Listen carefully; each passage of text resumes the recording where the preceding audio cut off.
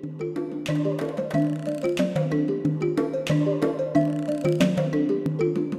afternoon, ladies and gentlemen.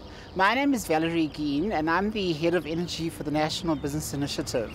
I'm especially excited to be part of this award this year. As the NBI, we have been leading business and working with government in pursuit of energy efficiency. And the main reason for that, obviously, in today's world, is the rising price of energy as well as the shortage of supply. And we think that through the initiative that we ourselves run, which is aimed at both large, medium, and small businesses, as well as participating in this award, will give true benefits to those seeking to save money, put money back in their pockets, and reinvest money into other parts of their business and remain sustainable.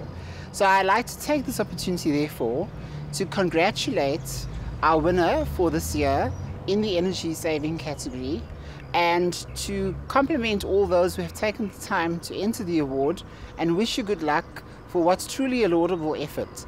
Uh, going forward, we need to see more initiatives of this nature to provide solutions both for energy saving as a service as well as products for companies to take forward into the future.